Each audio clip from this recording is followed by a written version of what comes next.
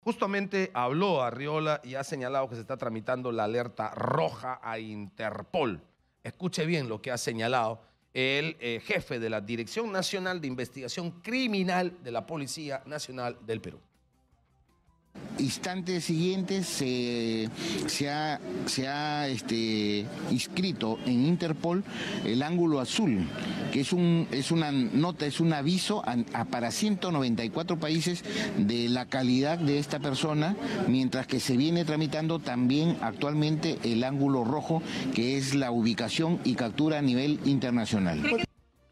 Ok, eh, ahora, en torno a este tema se armó un, digamos, un pequeño debate de tipo legal.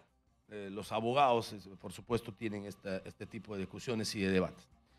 Eh, ¿Debió hacerse algún procedimiento para garantizar que Cerrón no fugue, como ha ocurrido? ¿Debió pudo el Ministerio Público eh, presentar un recurso ante la eventualidad, hoy confirmada, de que la sala defina prisión efectiva para Valdemar Cerrón, para Vladimir Cerrón, perdón, y no se nos escape como se nos ha escapado hoy.